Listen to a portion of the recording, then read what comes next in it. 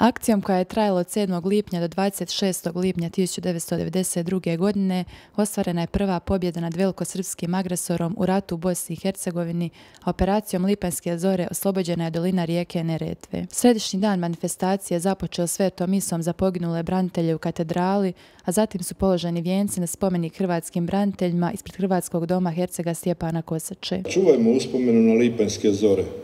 Prenesimo je svakom prigodom svojoj djeci, kako bi oni pričali svojim potomcima.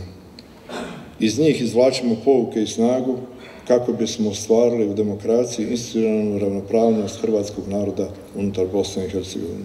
Ovogodišnja manifestacija održana je pod visokim pokroviteljstvom člana predsjedništva Bosne i Hercegovine iz reda Hrvatskog naroda i predsjednika Hrvatskog narodnog sabora Bosne i Hercegovine, doktora Dragana Čovića. Moja zamolba prije svega onima koji će naredne 24. naše lipanske zore organizirati, organizirajmo i tako da ova kosača koje punimo bude prepuna, da nema mjesta.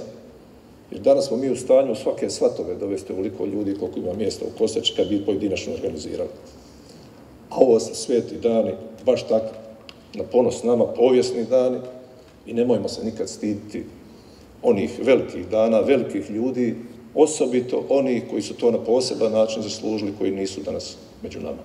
U velikoj dvorani Hrvatskog doma Hercega Stjepana Kosače priređen je bogat kulturno-umjetnički program, a minutom šutnje prisutni su odali počast poginulim hrvatskim braniteljima.